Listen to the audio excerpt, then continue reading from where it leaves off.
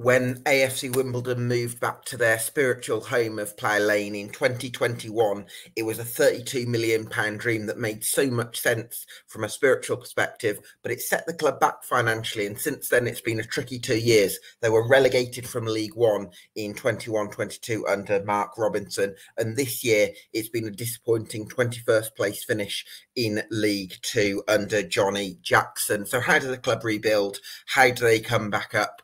And uh, Uh, yeah, and what's the what's the solution for AFC Wimbledon? To discuss all this and more, I'm delighted to be joined by Tom Large from the excellent Nine Years podcast. How are you, Tom? I'm good, thank you, mate. I'm glad to be here finally on a on an actual League Two one, not sneaking on the League One episode, anything like that. I'm here. Yeah, absolutely. Buzzing to get you on, mate. Um, we should say this is our also if you're watching this on YouTube or on Spotify, do give us a subscribe because it helps us out um, an awful lot. And we're covering all 72 clubs across the EFL between mid June and mid July. There's already been a few uploaded, so go check those out. Um, yeah, so coming back to that original question, then, Tom, um, how do you reflect on the last couple of years and where do Wimbledon go from here? I and I think it's a bit of a, a, view of the minority. I personally think we played our best football under Mark Robinson. Um, that first half of that League One campaign, we were coming back from games we were, we were behind, and we were playing actually sort of football that had a had a thought process or looked like anyway. Um, hmm. last season, look, we went ten unbeaten. That was really good, but at the same time, we left every game thinking, "Oh, what did we do right here for a start? Is there any hmm. consistency in these performances?" Not really. Um, and then obviously we we really, really struggled in the back in the back end of the season in 2023. So Johnnie Jackson's had his challenges, I think, um, and I think a lot of the fan base aren't happy. Uh, it's really the best way to put it. Uh, and I think now it's just a case of trying to build now. Craig Cope has seemed to have stamped himself now on our recruitment process, and we are signing well. Um, apparently, he was one of the, I think he was the lead in the signing of Ali Al Hamadi. And well, mm. I think his, his stats say enough, let alone, you know, watching him last season.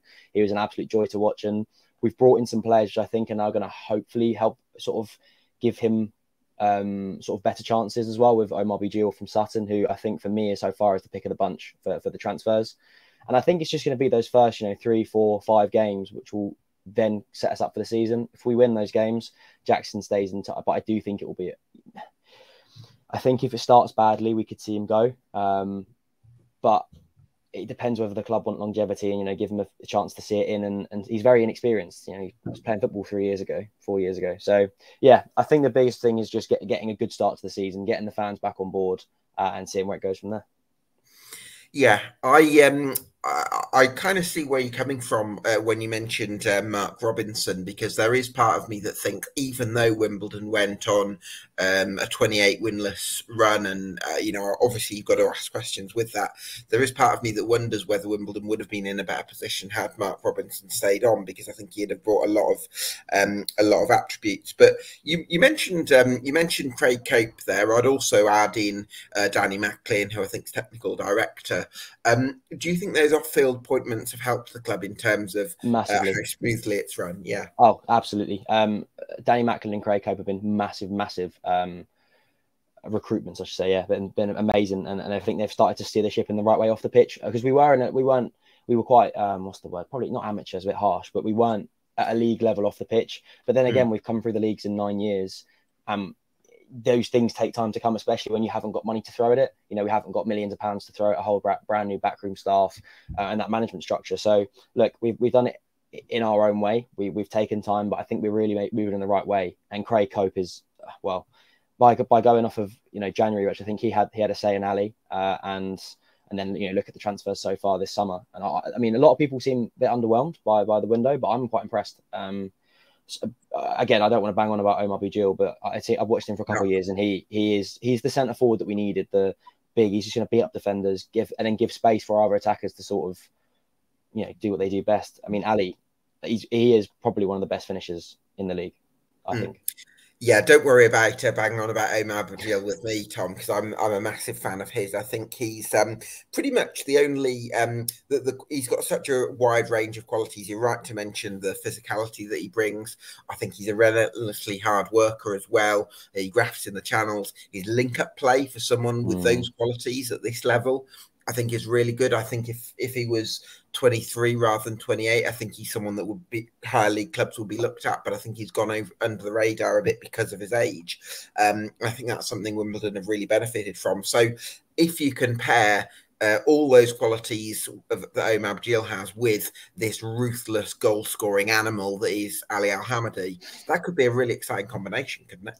Yeah, and it also then poses the question: Where does Josh Davison play? Because he's not a bad striker, and he's shown when he, when he's in on goal. I mean, sometimes he can be a hit or miss with his finishing, but he had. But in this team, you didn't get many chances. Like he, he was working with scraps most of the season, and he was worked into the ground. He was good at the start of the campaign, and he played every minute and got injured. That man management is one of my issues with, with Jackson, as he does seem that Alex Woodyard again played every minute, coming in off a very busy summer last year, and we saw him. He was tired every game, and he didn't look like he was his best. So hopefully now we've got obviously Ali, Josh, Omar, and obviously Zach Robinson returning from Dundee. That's four striking options, rotation, and I just think that's going to give us a chance. Um, yeah, I think I, I think Zach our best Robinson partnership could, could really come into the mix because I know in the back end of the year before mm. he actually did really well under Mark Bowen. I think it was. Yeah, yeah, he did really well and also had a good spell in Dundee. Uh, he went there, came back over the winter, played one game for us, or played like ten minutes, and then went back, which was strange. But I think it was if Ali hadn't come back, come or been arranged, Zach would have stayed on. Um, I think Zach's ready to step into the first team. By things reports I've heard from his time in Dundee, um, I think he's ready to be an option. There was some sort of issue between him and the management team. That's why he got sent out on loan because um, he signed a new deal and then went straight on loan, which was strange. But hopefully he can come back, show show the gaffer what he's about. Um, and, and that's four good striking options for League Two. And and just going back on what you mentioned about Omar Bugiel, that's what we've missed is that being able to connect our attack and midfield together. We just don't seem to have that. But if we can have someone that's going to win the ball not necessarily like good back to goal. I don't I don't want him to be a goal scorer. If he's if he's just winning the ball and playing it onto Ali or Josh or Zach, mm. that's all I need for me yeah. anyway. I'm not the manager, but uh, yeah. that's no, all no. I want to see. It's, it's interesting, isn't it? Because I think um, sometimes Wimbledon have had uh, in the last couple of years, Wimbledon have had the individuals who are capable of bringing the magic, but mm. they've not had someone who can bring that connects those players into place since Ollie Palmer left. It's felt like that's the thing that's been missing from Wimbledon. I, I, I, I think Palmer, I, I, he, I, I wasn't his biggest fan. Okay. I don't think he he offered enough um, at that level. And it's good. To, I'm happy. You think he'd have stayed up if, if Ollie Palmer had stayed? No, no, no, no. And this is this is my biggest debate, like within Wimbledon fans, right? It okay. wasn't the fact he went; it was the fact we couldn't replace him. Because we brought Sam Cosgrove in, and look, when someone said to me we're signing a six foot five striker from Birmingham, I went, "We're staying up," you know, go on a playoff run. Like that's mm. ridiculous. I expected him to be so good. I remember we did yeah. him. He came on the show, I think, just as he signed, uh, like pre-match show, and I remember seeing him. I was like, "Oh, this just got it all. Actually, he's going to win headers," and he couldn't. But it was again similar to when we had Joe Pigott. We used to lump the ball to him in the air.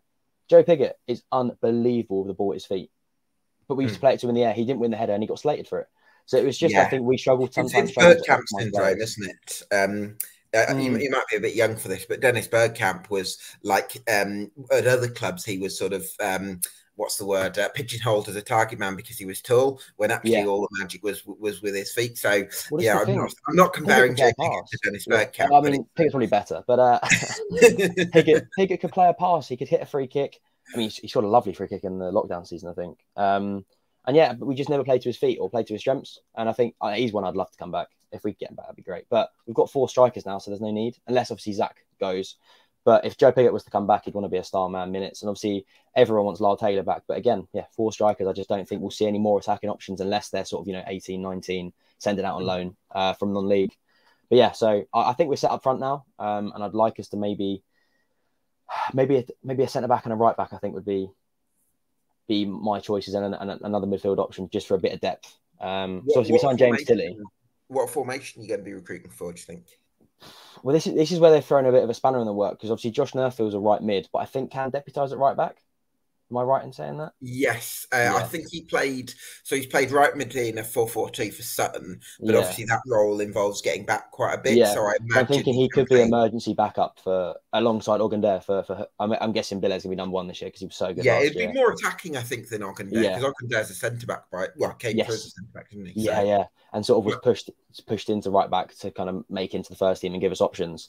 But I do, I, I I just can't see us not playing with two strikers. Although I also can because who knows what you know, Jackson Roulette. I think with four strikers, I think there's a like there's there's probably a decent likelihood. Yeah, but we we just haven't seemed to play with two for a while. But I can't see with having Ali. Ali will his first name on the team sheet every day of the week. Um, and then I imagine Omar Gio next to him, and then Ali and Josh will switch around.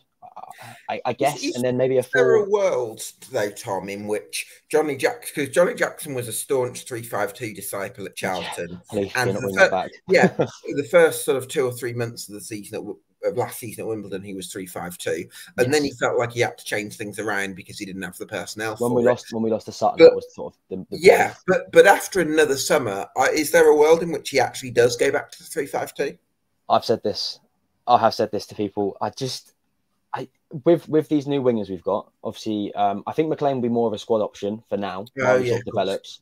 Um, but yeah. James Tilley can play out left, right? Is that correct? Yeah. He a, no, he's left-footed. I think yeah. he's he's, he's an attacking midfielder, but yeah, he can play across the front. So there's a chance that you get someone out on the left, Neufville or Biler out right wing back, or Jack Currie can play wing back sort of thing into left mid because he's very Jack Currie's very good going forward. Um, and when and he was really good at the start of the season when we were playing five or five back into sort of three back, sort of yeah, with wingers. Um, and when he moved into a traditional left back, that's when he struggled a little bit. Um, so I think if we were to do like a three-five-two, it would be Biler and Currie sort of left wing back, left mid, right mid sort of thing. A flat three of well, Harry Pell, maybe Alex Woodyard and Jake Reeves, and then the two strikers up top. Um, but then we'll need another centre back in that because we've obviously let Luke Jenkins go, which was a strange decision because I like when he stepped into the first team last year. Luke Jenkins was was, was class. Um, I think he did have a bit of a tough ride against Salford, obviously, because he came on at half time, as so did you know six foot 100 Matt Smith. So uh, that was that was a tough chance uh, thing for him, and obviously that was a, a disappointing game. And I hope it, the decision of sort of him staying on wasn't made during that performance because I don't think he did that badly, um, all things considered but yeah, so I, I think I, I could see us going three five two with obviously the sort of wide um the wide recruitment we've made, but also maybe that sort of four one four one we seemed to play last year, or or a four back and two up front with sort of either whether it's a triple two or like a diamond or flat four four two that sort of thing. But mm. that will be sort of I think how we'll line up. Um, and I'm excited for it. I'd like to see us play attacking football. When we when we played three five two, we did seem to be quite. It used to be more of a five three two where we played very defensive. Mm. Um, but again, I'd like to see Jack Currie and um, Biler's sort of attacking creativity uh, mm. shown more because they are very good at that. Uh, however, we might lose them sooner if, if we do show that to the world. yeah, I think um, I think there's definitely going to be interest in Jack Currie this summer. I think with Huss Biler, you've probably got a chance, a better chance of keeping on for for an extra year. Yeah, um, because Jack Currie needs the stats charts as well, so always like he I think he's got one of the best tackles or interception things like that. So that always doesn't work in your favour because because uh, in the summer because I, I, do think there was interest from from Bristol and I think we I I don't know whether we should have sold him. I think there was a good sell on fee that was involved. Um, but I just yeah. I, I Can you get a million and a decent uh, decent percentage? I've always said if we can get a million pound for him, let him go because as much as he's very good, we the money I think is more important. And you could, I think, with Craig Cope's knowledge in non-league, you could get someone in who could do a job. Maybe they're a bit older, but could do mm. a hmm. job that he'd do. And also, people seem to like slate Lee Brown. I think he did an absolute. I think he did a great, fine job at left back, like traditional left back, not attacking. In, in, a four rather in than a four. In a, yeah, yeah, in a four. Yeah, yeah. Okay. I think he. I, I actually think he was better in a four at the start of the season. Not now. Jack Currie's very much progressed as you'd expect of a young player. But sure. I thought Lee Brown was absolutely solid. He brought a real um, sort of te- uh, team ethic with him yeah. if there's any sort of like uh, disagreement on the pitch, he's straight in there, sort of backing his players. Yeah. He's always in the referee Lino's ears and stuff, and that's what you that's what you want from your experienced pros. It's what we mm. struggled with in League One, and we've have seen that a little bit of a brotherhood forming, where you see Nik Tzanev, uh, Paul Kalambayi, and sort of Lee Brown. Any sort of issue on the pitch, they're straight into it, sort of backing their teammate, mm. and you want to see that because you want your players to play for each other and then play for the manager, then play for the fans. That's what you want, sort of that. If they play for each other, they'll play better because you know you've got more on the line. I feel like. Yeah, and uh, I suppose that that sounds like that trio could be really important in terms of the dressing room because um, I watched um, some of the fans forum, which was certainly a lively conversation, wasn't it? And um, I think one of the things people raised was that um, certain uh, certain individuals in the squad um, weren't necessarily behaving as you'd have hoped at certain moments. Uh, mm. I'm not going to go into too many details, yeah. but you know, there's sort of a sense of a bit of a lax, a bit of a you know, not not treating things properly. And I suppose that core of players could have a really important role in terms of just straightening things out. Massively. Um, I remember we had Lee on the show at the start of the season, and when we were playing well, you know, we were near the playoffs, which was strange. I was like, wow, this is this is new uh, after six years of you know looking over our shoulders in, in League One. Um, And he said it's the best dressing room we've been in. Like it was a dressing room that reminded him when he was being promoted last. And, and that carried on. And then all of a sudden, you know, things turn. I think our season was defined by the two Sutton games, which we lost to them both, unfortunately, uh, which is never never a happy game to go to. Um, but yeah, and, and during that time, there was a re- that 10 on game unbeaten. There was a really, really good feel around the squad. Uh, and then it just seemed to sour. And then performances carried on dropping. And unfortunately, the time where you need to really players need to step up is when you're losing and you know dropping down the table. We should never ever have finished twenty first. Mm. I, I, am in, in I'm strongly by the fact we've got a strong team. That that I, I completely agree with you, Tom. I think if you go through the individual players that you had at different stages last season, there were some players who didn't play for the full campaign and other things like that. But in terms of the the players that he had, I think it was a top half squad. So Without doubt, it was, a play, it was a playoff squad, and I've, I've, I'll stand by that. I didn't think we would finish playoffs. I said 12th would have been happy. I'm happy with 12. Yeah. the twenty first is nowhere near it. No, and the fact we were actually starting to look over our shoulders with eight games to go, because uh, mm. there was a genuine sense of worry. Um, is remarkable. If and I, I'm, I'm as, as, as negative as this is, if we dropped out of the league, we would never get back in again. I don't think. I really don't think the the, the strength in in league in the national league with your Chesterfields and stuff. I just don't think we'd have got back in again. Mm. Um, and I, I personally, I, I think Jackson's lucky to keep his job. I do think that because it was at times it was very negative on the pitch, mm. and also for a fan-owned club, a lot of there was a lot of chants at the end of games and stuff, being like, "We want Jackson out," and people aren't wrong. Um, the football was was quite poor at times, and we were saved by moments. Obviously, Assal was one of our leading goal scorers and left in January. Ryley Towler, Pompey have got themselves a hell of a player. Mm. He is serious player, and you know he could play defensive mid, he could play centre back, and when we had him, Towler, and Tzanev as, as that sort of trio, goalkeeper and centre backs, that's when we were keeping clean sheets and things like that. And I think when you've got when your backline and goalkeeper got that level of trust together, it really helps out. And I think we've seen that issue when we started conceding goals. There was a lot, and the change we changed our centre backs quite a lot, mm. and that's when Nik Tzanev started to fall off in the season. And I, I, I'm a, I think everyone knows I'm a massive Nik Tzanev fan. I, I, do think he's a good keeper. I think he's a league top league two keeper personally. I, I, dare say that's not a um, uniformly popular opinion. No, no, no. I'm very much in the minority there. I do think he gets made a scapegoat um, quite a lot of the times. I mean, he's had his mistakes. I'm not going to say no. When he double kicked the ball for, for Fleetwood in League One, that was unexcusable. Um, sometimes his distribution is not great, but he's a very good shot stopper and he's a good penalty mm. saver as well. And I, and, yeah. and he's also been with us for a while you know what you're getting with him. He will have good games. He will have good games. He'll have the odd poor uh, poor game, but he's, he's a League Two player. Everyone, no, if you know if they're playing ten out of ten every week, they'd be in the Prem. Like they wouldn't be in League Two. So they're gonna have games where they're not they're not amazing. Um, whether we and also having a permanent keeper is just such a nice thing to have because they can't get recalled for a start. And but then you can get a better quality of goalkeeper in the lane market sometimes. Oh, oh, one million percent. You look at the loans we've had, Aaron Ramsdale. You know, what keeper. Mm. Joe Day, I really, I really like Joe Day, but um, Nathan Trott as well, who I take back in a heartbeat. Um, promotion Caesar, Kelle Roos as well. Oh God, what a keeper! What a keeper! He was so good. And again, the, the low market is something you can definitely um, and and really really um, capitalize on. But you look at our season this year: Paris Maghoma recalled and, and sent to a certain side. Um, Ryley Towler recalled and sold to Portsmouth. Who else was recalled? Um, Nathan Young Coombs recalled. It's just that absolutely ruined our season because you lose three very, very integral players. Nathan Young Coombs on his day, I mean, when he came back, he was clearly still injured because he wasn't kind of showing yeah, he did struggle with injuries, to be fair. Yeah, and when, against Sutton, he kind of just strolled around. and You thought this isn't this isn't the NYC we know because against Crawley, oh my, what he was so he was just he was absolutely relentless up top. Him and Ali would have been, oh God, I don't want to think about it. It'd been so good. And obviously, Ayoub Assal, great player. So obviously, the release clause met. Ryley Towler. How much uh, did you get for Assal in the end? My understanding is between one and one and a half million. I think was the release clause, okay. sort of middle ground there, which I'm happy with. Um, I think obviously we could have sold him for more, but we probably wouldn't have had. He wouldn't have signed a new deal. I'm guessing if he didn't have a release clause. So I'm mm. really happy to see him this season. Um, I, I, was a bit upset in the conduct in which he held himself with not playing and stuff because he was mm. had a virus or something. Uh, but you know, I don't know.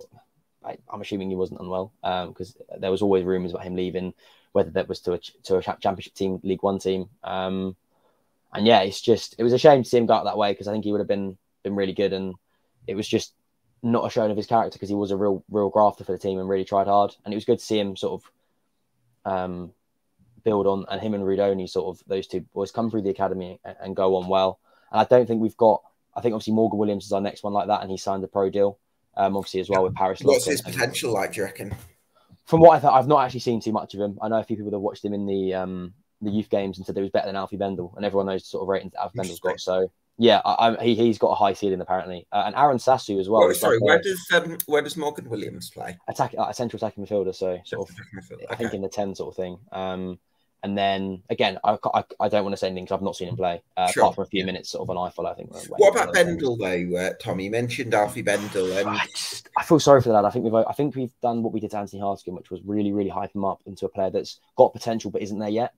I actually felt like feel like you've done the opposite to what you did with Anthony Hartigan because I think Anthony Hartigan, when he was very young, he oh god, he was a lot of games mm. straight away. Whereas Alfie Bendle, oh, I meant around the hype, sorry, not the minutes hype sort of thing. So yeah, no, I know, I know. I'm just looking at this, flipping this in into another sense. Like I, I, I know where you're coming from, but I look at it, and Alfie Bendle got loaned out to National League South. Yes.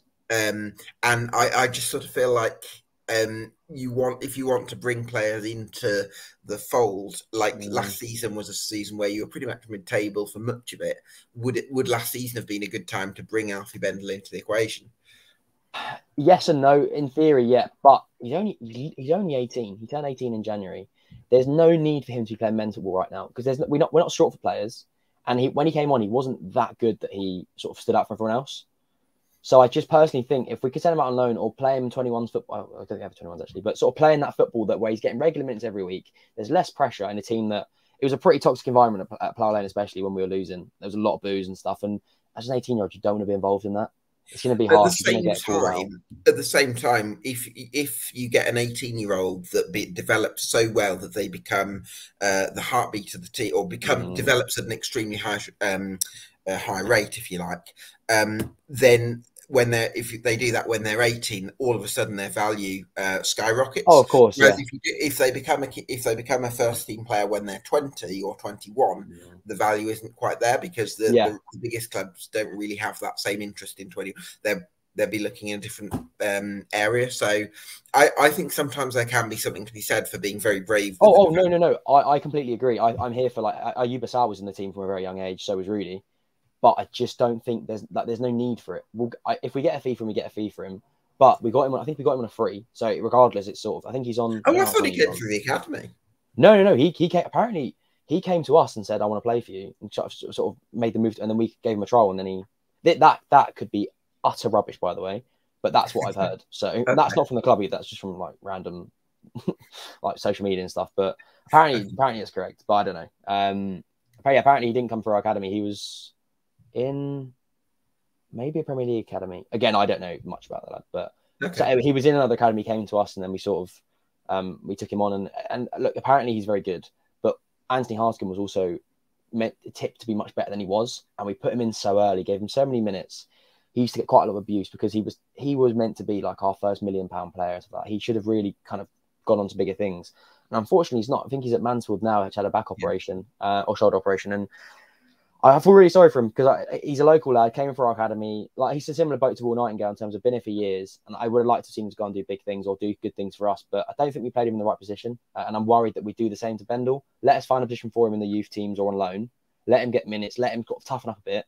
Bring him into the team. Even he's it'll be he'll be 19 in the second half of next season.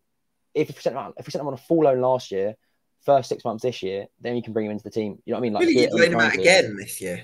Yeah, oh, one million percent, one million percent. I'd loan him out again. I just don't. I just for half a season. I think just I don't. I, there's no point in him sitting around on the bench like as he has done. He's not going to get anything from that, apart from maybe you know, that team room atmosphere, sort of that experience from being around a squad. But I just don't think it's going to be beneficial to him. Okay.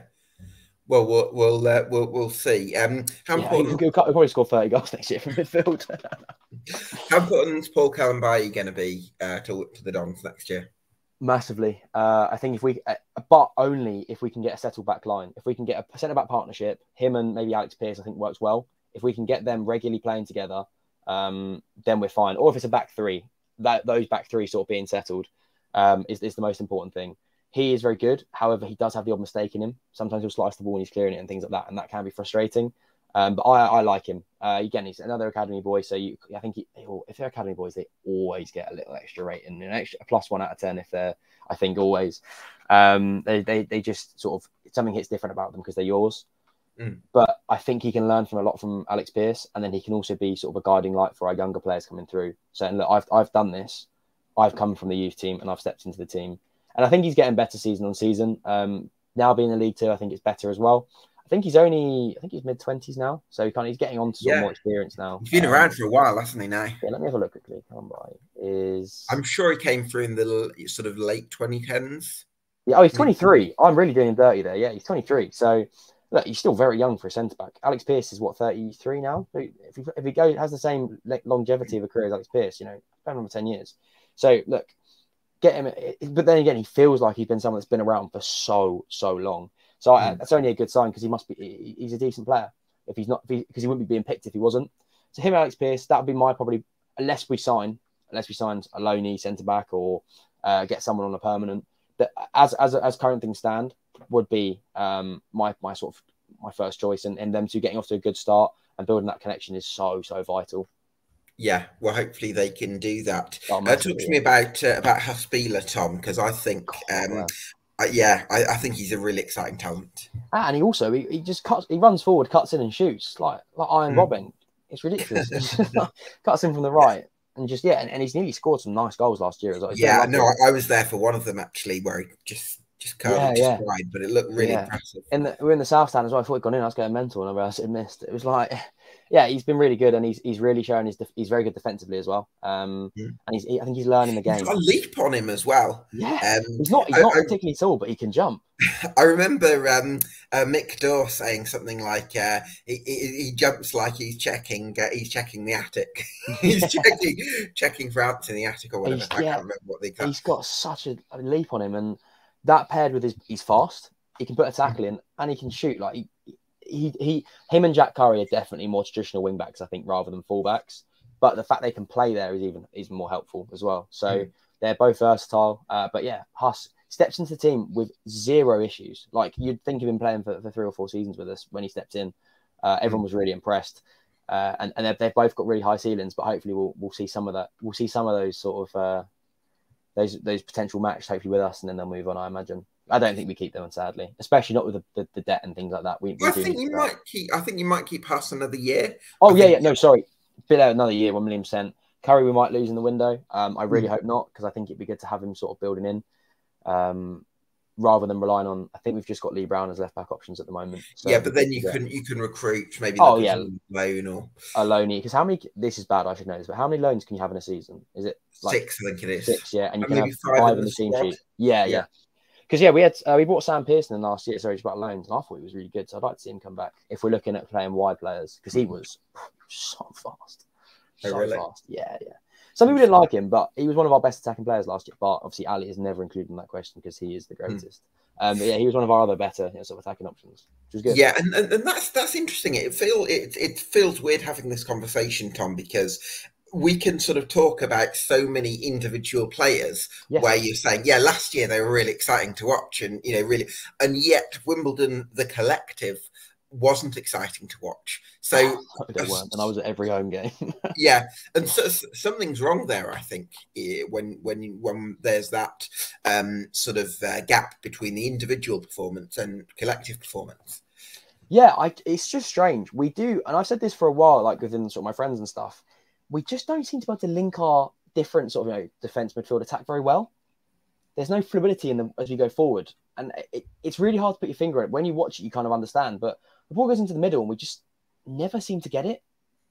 And there's no, there seems to be no method of getting the ball from Sorry, goalkeeper. ju- to just talk me through that again, Tom. So when the ball It's really, it's, it's a weird like or at all, sort of building all, forward. okay. It is like under Robbo, and I'm a big Robbo fan, so I'll probably, sorry, probably slightly blue and yellow glasses Robbo because I did like. no. I, I, I actually agree Yeah. with you on Robbo. I but we played really- some incredible football. We were playing like triangle, like like different triangles. We had made it forward, and there was clear, clear thought process.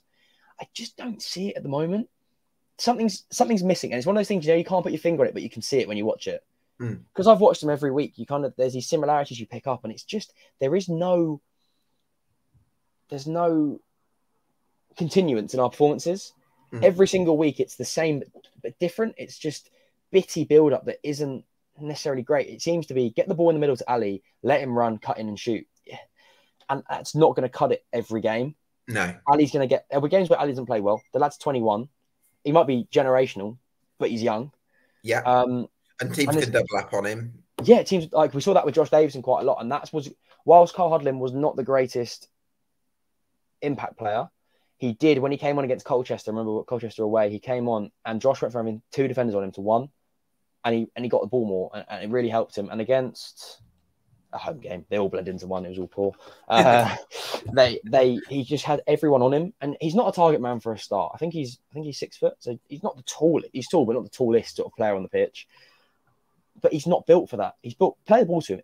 Josh Davison is so deceivably fast. He is unbelievably fast. Gets past players so easily, but we don't play to that. We play it to him in the air. He loses the ball and everyone moans. But it's yeah, like, that, that's a weird. do? That's the thing I've seen a couple of times when when Josh Davison's been playing up top and Wimbledon have gone long to him, and it's like he's just not that good in the air. No, I he's don't- not. I don't. I don't think he is either, and that's no slate on him because he's so good getting in behind. If the ball goes over the top onto him, we saw against Harrogate. We would. I mean, that was we won, but that was a horrendous. We did not deserve to win that game. But it's two all. Nik Tzanev plays his ball over the top. Josh Davison runs in. Oh, what a finish! Side netting. But, but that's what he's good for. It's over the top. But you lump the ball to him. He's, to be fair, he's a big lad. Like he's he's built. But his his best attribute is getting the ball. Sort of, you see him. He puts his shoulders out a little bit and just like he's almost like bull in the china shop. He just pushes through defenders and gets in on goal. Sometimes he's way with his shot, but I don't mind that. He's a young. He's 22, 23. Absolutely fine if he misses the odd shot. But it's more. You get scrutinized more when you don't get as many chances, and you're also missing headers. But yeah, he shouldn't be winning those headers because he's not a target man. Hmm. And that is a very Wimbledon sort of Wimbledon issue. Is we think every striker we get should be a target man, and that obviously not every striker on the planet's a target man. Yeah, we sure. started playing Ali out wide. Well, That would have been a disaster. If we made Ali a left winger, that would have been a disaster. I'm so Mm. glad he ended up playing up front because he's very good. Yeah, for sure. Um, I think uh, with all these conversations, it's difficult to invo- uh, to avoid talking about uh, about Johnnie Jackson. Um, Mm. I um, I, I I'd be interested to hear your thoughts on him actually, because obviously as a neutral Mm. sort of thing. Sure. Um, I feel like with Johnnie Jackson, something just feels a little bit off. He doesn't feel to me like a Wimbledon manager, and I'm sure if he was watching this, he would say, "What evidence have you got for that? What you know? What's the he um, seems like a what's the as well. sorry, say that He again." seems like a stand-up bloke as well. Like, he seemed nice, sort of thing. Like if you had a beer Yeah. him, he'd be great, and that's what makes Yeah. it harder because he doesn't seem like he's not trying. Yeah, no, no, I, I, I know, um, but I also feel like there's something when he's on the. I, I've seen him on the uh, the touchline a few times, and there's Mm. something a little bit sulky, I think, as well. Yeah, And and interviews, he's just like, even if you don't feel it, come out of the cameras blaze and be like, look, um, we put our hands up, we didn't do things right, and look, but he's he's, he's slouch, slouched back like like that. Like, just show a bit of passion, and the pla- fans will get inside. All we care about is the players and, and management team caring, really caring for the club. You saw that, Robbo. You know for a fact, Mark Robinson cared about this club. Neal Ardley cared about the club. Again, is it maybe because Jackson's our first bar? Terry Bowen but doesn't doesn't really count because obviously he was like seven games um at interim. But every other person we've had, bar Jackson, has been oh, ex Wimbledon, so they've had that connection. I think that's a red herring, to be honest, Tom. I think that um, even if you don't have a prior um, association with Wimbledon, I still think you've got an obligation. Oh, any club, any any club you should be buying into that team, and But you should especially be a, a fan-owned club that was Mm. rebuilt by the supporters, yeah. you've got to be able to buy Mm. into the fabric of the football club. And um, I hope Johnnie Jackson um, proves me wrong. And, Look, I'll get behind any management we have. I, I Mm. I will stand by any management we have because at the end of the day, I'm not making decisions on who's in charge, so I can't. You know, Mm. he might have been anyone to apply. We don't we don't know who applies and stuff like that. Because I, I'm not gonna lie to you, we're not we're not that an attractive club to manage. Like, We aren't. We're gonna have a very we're probably the smallest budget or one of the smallest budgets in the division. You've got very limited resources and, and sort of whilst Plough Lane is a fantastic facility, our training ground is not up to scratch. I don't think. Uh, there's been a lot of complaints about that, and I think we're getting work into that. Um, but again, you've got a loyal fan base who who we were selling still, you know, seven and a half. We were selling like seventy five percent, eight percent capacity when we were twenty eight games without a win last season in League Mhm. One, and they carried on this season. We've sold four and a half thousand season tickets. So the fans, the fans are staying. But my issue is if Jackson stays in charge and we're losing, I don't know how many people will stay on. I will because I'm a sucker and I've got I need something to do on Saturday. So I, I feel like you, you, sell yourselves you sell yourselves a little bit short because I think I, I agree. I think Wimbledon have um, have got a lot of challenges. I think this is a difficult um, period in the Wimbledon trajectory, and I don't want to underestimate that. I actually have a lot of um, sort of sympathy for the challenges that Jen Jackson has, has taken on because mm. you look at it first of all, 28 game um, winless streak. Uh, felt like a losing streak, it was winless streak. Um, and uh, of course, uh, what I mentioned at the top of the show, the tw- 32 million pound purchase of New Plough Lane. Um, that's going to take a hit in terms mm. of what the club's able to do, especially with no like big millionaire behind the scenes to go. Yeah, got that covered, don't worry, sort of thing. Yeah, absolutely. Um, so, so I think it's a really difficult time from from that point of view. But I think that the stadium, I think, is a huge attraction. Beautiful. Um, get, that's that's why we sign players though, because I remember I spoke to Aaron Pressley when we got him on loan, and he had he had options from around around the leagues, uh, and he yeah. went he went yeah I walked in. Robbo had uh, a Pressley nine or Pressley I think it was nineteen shirt on the wall, mm. showed me the stadium, and the stadium's what sold it. And I think one of the other players mentioned in one of their recent interviews that they saw the stadium and went, yeah, I want to play here. Yeah, because because like for example, I mean, we I think as football fans we love the uh, traditional grounds, and I think there's definitely a place for that. But then I've been to Grimsby, for example, where the toilets. Our first game of season.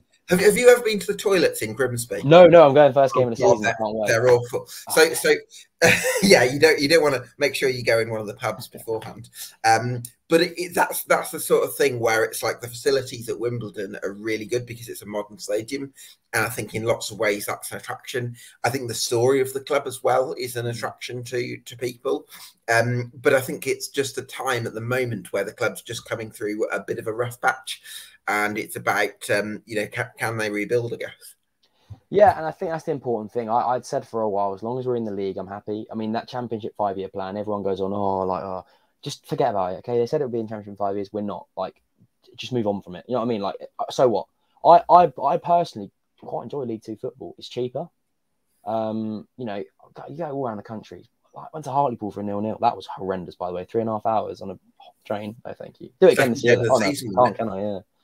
Yeah, it was. That was really good. It was really good though, and that's the thing for me. And I think a lot of Wimbledon fans and a lot of football fans in general, like it's the meeting your mates in the cafe for for for, for a fry up, getting the train to some God knows what place around the country, watching your team probably lose, then coming home on the same train, coming home and you're home by like 11 o'clock usually and getting to bed and that's a good day out. The football's usually the worst part. Like Gillingham, oh, love Gillingham away, what a day. But to be fair, Gills are actually having a good time actually for them. So happy to see that they'll be they'll be top end next year. Um, but yeah, that's yeah. what football's about. It's not about like if if you want to watch, you know, quality football week in week out, go Fulham if you're local. Go Chelsea. You know what I mean? If you're in London, go watch City. Go watch United.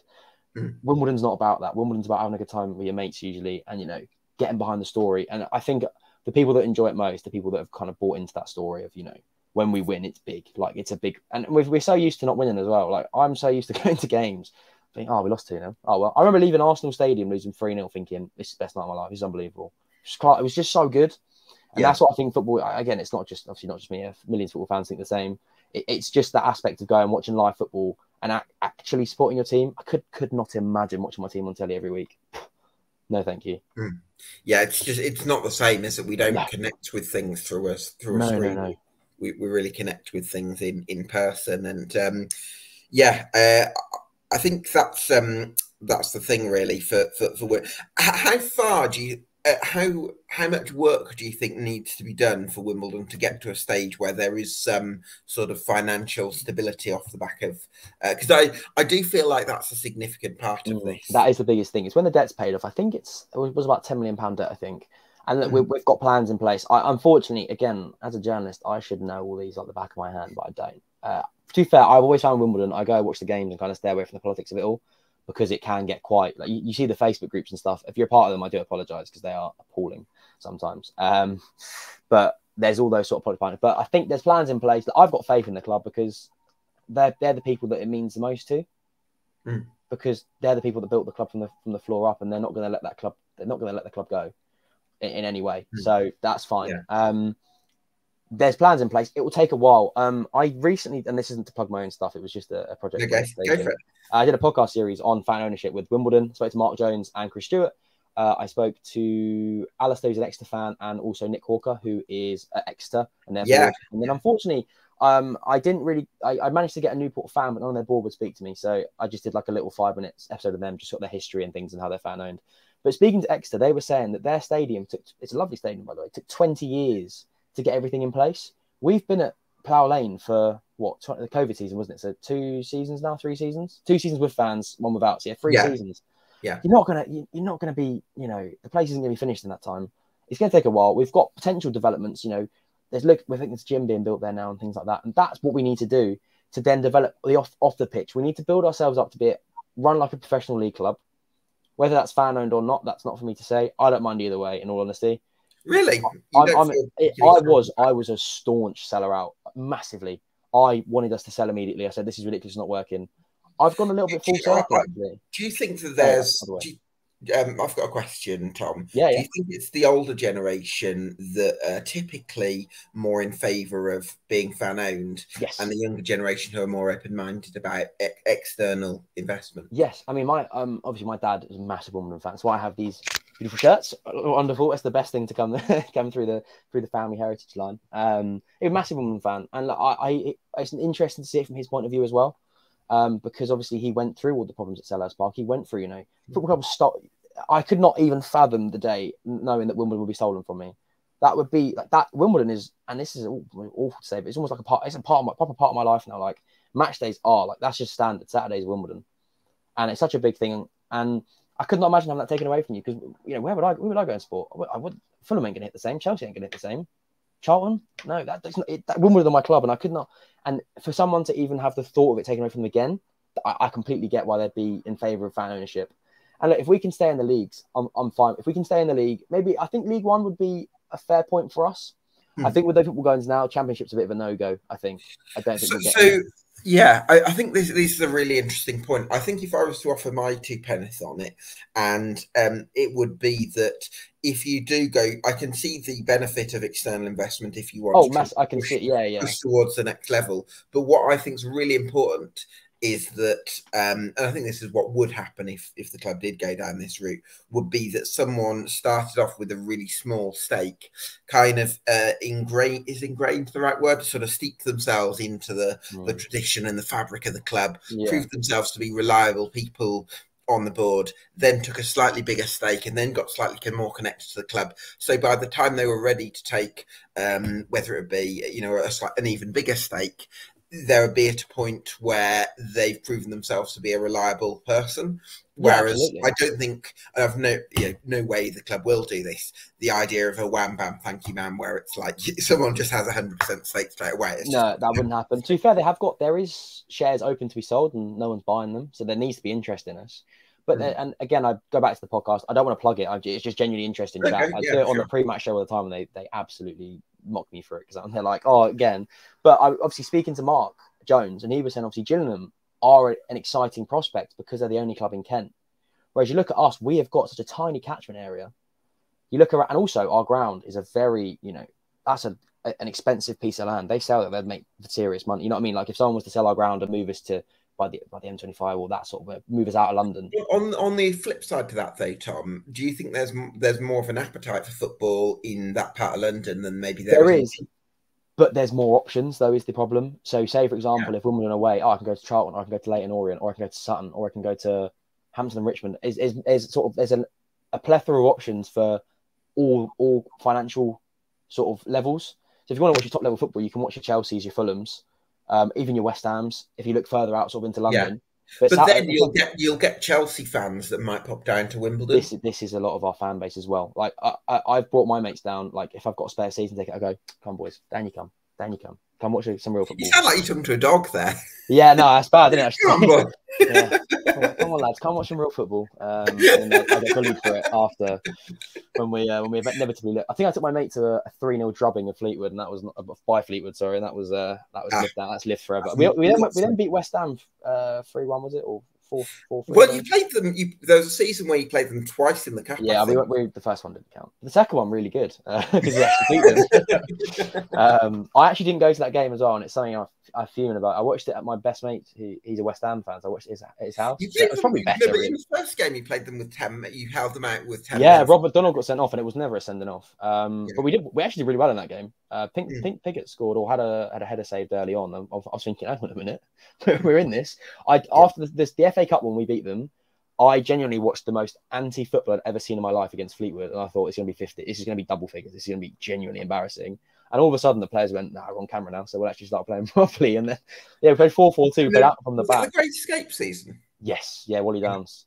So that was Um, that was a huge moment in terms Oh, of the I because I think think that it was generated momentum for us. yeah because I remember I think I want to say you lost two 0 at home to Burton and then um you went to Walsall I think it was and I was actually at this game and I think you won might have won one 0 at Walsall um and uh, oh was it Steve Se- I think Steve Seddon scored and um and then I think from then on you just went on Yeah. this incredible And there was a was a, it was a Steve Seddon goal. It was against Luton, I think. The Steve Seddon goal.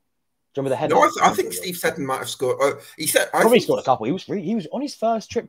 He, he was he was with us twice, I think. Seddon. First time he was really good. Second time he didn't live up to it, unfortunately. Hmm. Um, but that Luton game, the Great Escape, that was the one that sort of um, sealed us safe. And it was in, it was an Aaron Ramsdale masterclass. And Mm. also we just. I remember he, he, he this save where he went over him and he just put his hand up, bang. We're like, hang on a minute, where's that coming from? I thought that was out. I Wow. thought he was in, so I thought he was gone straight in. And yeah, and that was sort of there was almost this sort of cloud over the club where it was just like this is this is happening, and there was no doubt. Sort of, we went into games. I was thinking we're going to win this. And Yeah. We had no reason to win it, and then we ended up safe. And oh, incredible! I had to work the last game of the season. I was fuming. Bradford nil nil. I think we had to hold out. If we, we drew, we stayed up, and we did.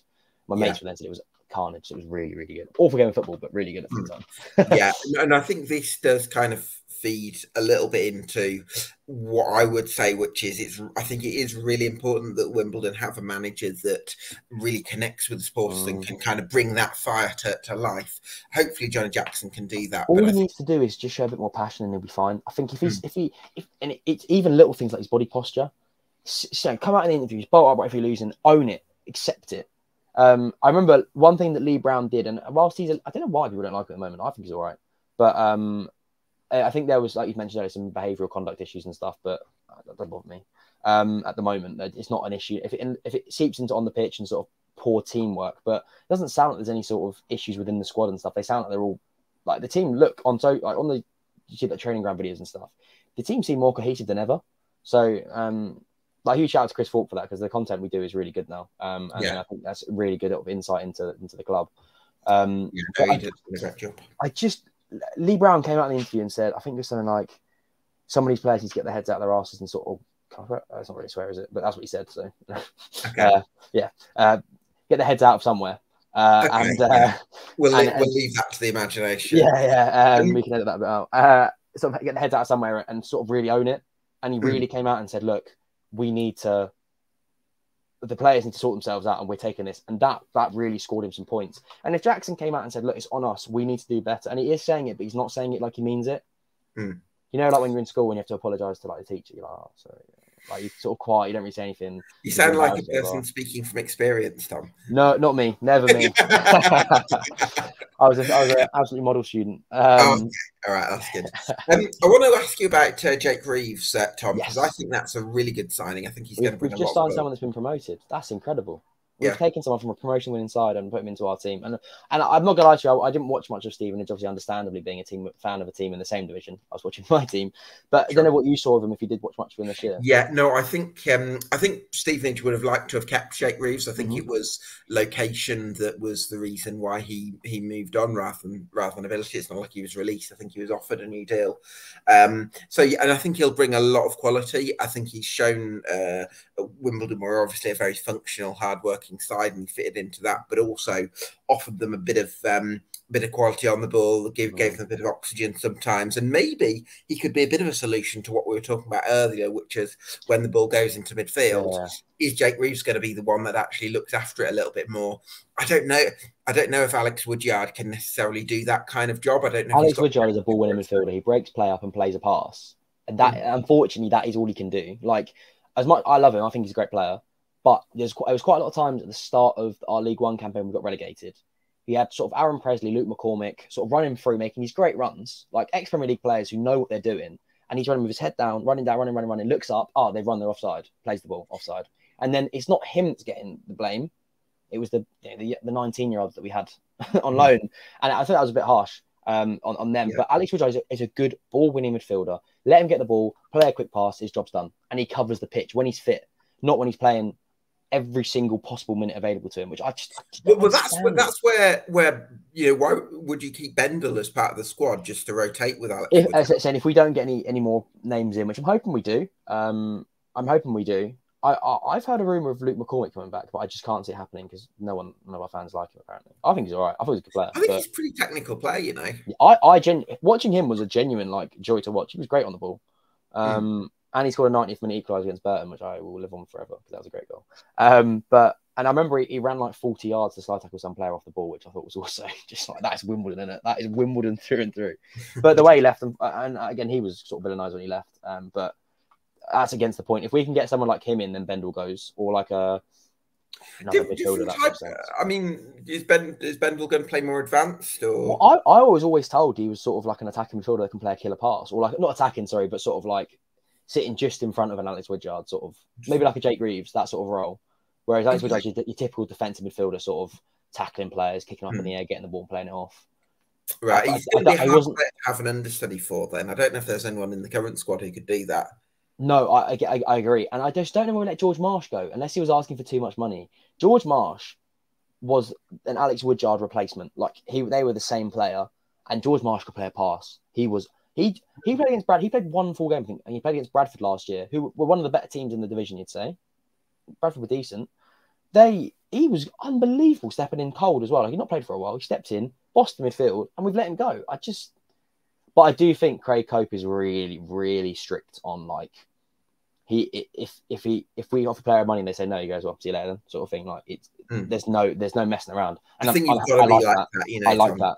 It's good because yeah. in in the past we've we've given some interest in like a three year deal for Kwesi Appiah. That is barbaric, especially when we were like. We were... you've got to you've got to hold your own in the negotiations, and if the deal's yes. not right, you don't go for it. And um, also with Craig Cope's book, uh, recruitment book, I'm assuming that he'll, if, if someone says no, he'll go right. I'll go get someone else then that's like you, sort of thing, because mm. he knows non-league apparently. Again, never spoke, never said a word to the man, but I'm not not against talking to him, but I just never, never met him. So uh, yeah, but uh, by the sound of things and what I'm hearing, he, he seems to know his stuff. So that's all I can ask for, as you know, I sort of head of football. Absolutely, yeah. Um, what was I going to? Oh yeah, who's coming through the academy at the moment? Uh, any, so Morgan Williams uh, and Aaron Sasu and Paris Lock have all just signed pro deals. Uh, very okay. very exciting players. Aaron Sasu apparently, again, I'm going off people who watched him in the youth cup games. He's like a six, apparently six foot three winger, which is incredible. So happy with that. Quite fast as well, which is always nice. Um, Do you think you'll play with then, wingers this season?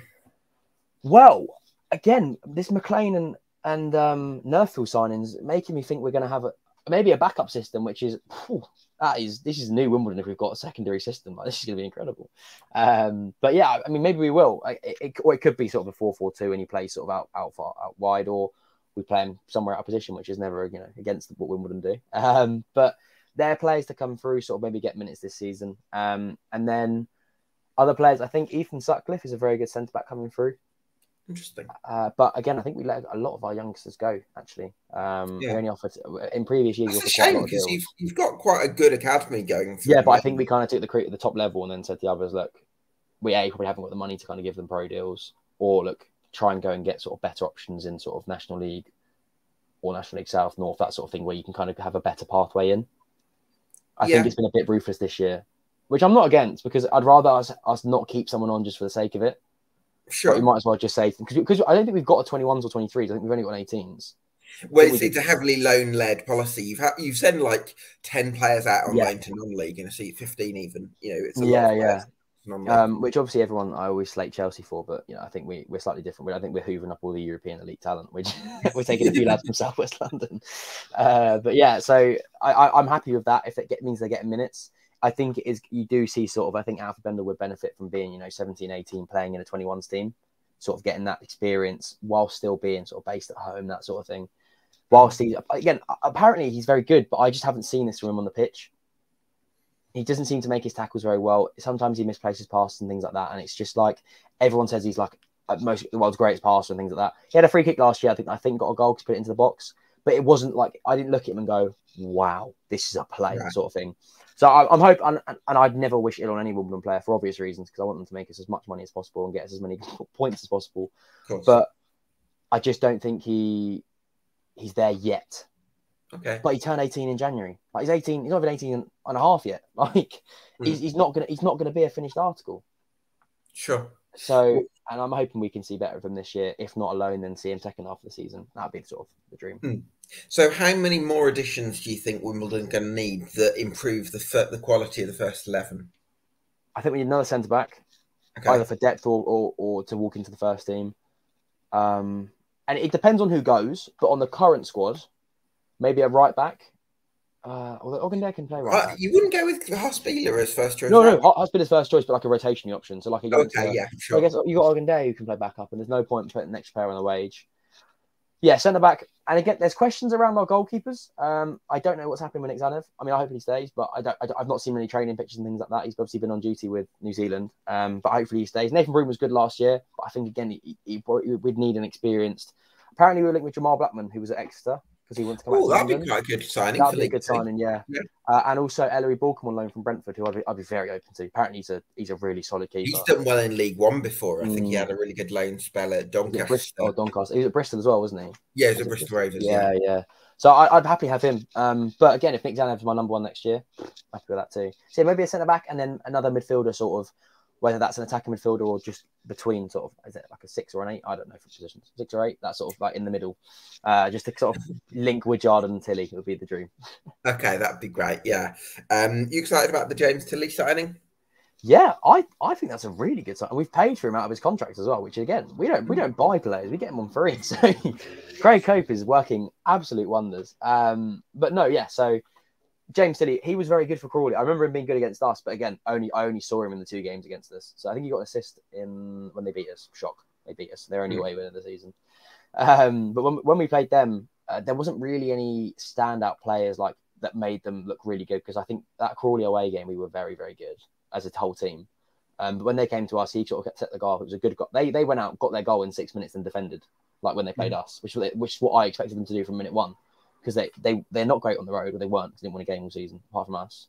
And yeah, and I remember him, him sort of drifting in that play, looking decent. I think he'll be an improvement on Ethan Chislett, who's obviously, as as things stand, not under contract because obviously we've offered him a deal, but I don't know where he'll go. I don't think he. I think he's a league Chislett's a League Two player at the moment. He hits a good free kick, but I think the free kicks kind of give him an extra sort of level in terms of he did disappear in games a lot. But then again, are our attacking players disappearing because we're not actually getting them involved in play? Yeah, is another uh, issue. That, that could be where Jake Reeves comes in. So hopefully, he can make a huge difference. Um, what would be the reasons, Tom, for I've got to make my one to twenty four predictions in a few weeks. Yeah. So I've got to predict predict Wimbledon. Um, what would be the reasons to be massively excited about Wimbledon and to be massively in favour of them really improving and kicking on from last year? Uh, Ali Al-Hammadi is number one, getting a full season, hopefully a full season with us, uh, and, and, sort of he's, he's introduced the team now. He's, he's integrated, and then uh, him and Omar Bugiel up front will be exciting for me. Um, our transfer window so far, again, massively exciting. Um, sort of bringing in players that we've, I don't think we've seen sort of a Jake Reeves signing, an experienced midfielder who's not like 35, you know, sort of pushing on. He's, he's in the, he's in sort of in his prime. He's only 28, 29. So like, I'm happy with that. That's great. Uh, he's in a promoted team. He's going to come in, sort of. He'll probably be a, sort of a guiding head in that team as well, saying, "Look, boys, I know how to get promoted out of this division because I've done it. Done it. He's done it twice. Did you do it us in League Two? Uh, yes, I think so. Yeah, he's done it twice. So he's got a League Two twice. So he's probably one of the best players to go from that. Uh, and also looking at the experience of Alex Pearce and, and, and, a mixture of experience and youth, I think is going to be really good for us. And, and hopefully the development of a lot of young, exciting players who, if played correctly and sort of in the right systems, will be very good but it all depends yeah. on the management. And I think that would be. I, imagine your next question is sort of why would you not be excited? yeah, you, you, yeah. And, and, number one would unfortunately be the uh, be the man would be Johnnie Jackson. And not anything against him. I just don't think last year worked very well. A lot of the fan base are already against him and, and negative going into next year.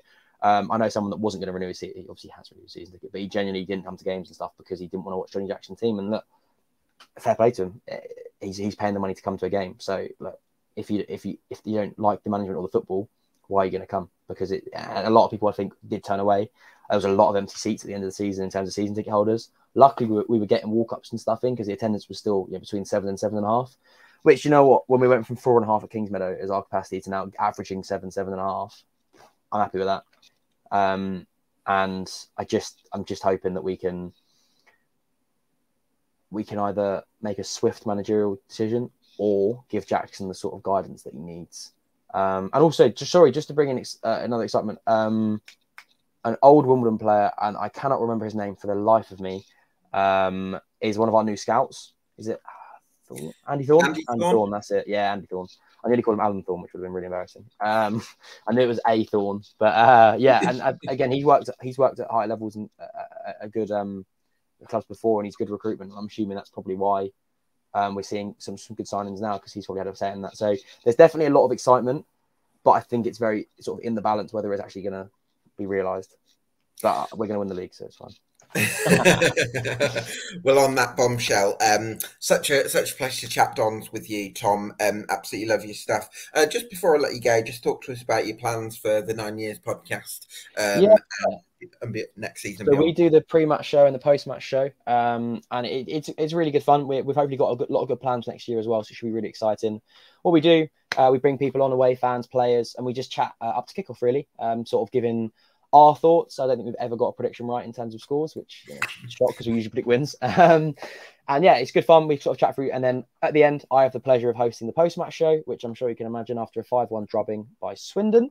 Uh, is not the most fun place to be in the planet. So yeah, uh, it's really good fun. We have uh, good chats and uh, we get a lot of players on. So if if any Wimbledon fans or any other fans that football clubs want to come on, uh, come and have a listen, have a chat with us. Obviously, with we're on YouTube um, and Facebook. So obviously we, we uh, chat to people in the comments, things like that as well. So come and have a watch, have a chat, and and watch us talk all things Wimbledon. Yeah, well, absolutely. Go check it out. Go follow uh, Tom at Tom Large Reports and go follow Nine Years Podcast as well. Um, this has been EFL Debate, the AFC Wimbledon Summer Deep Dive, and we'll see you again very soon.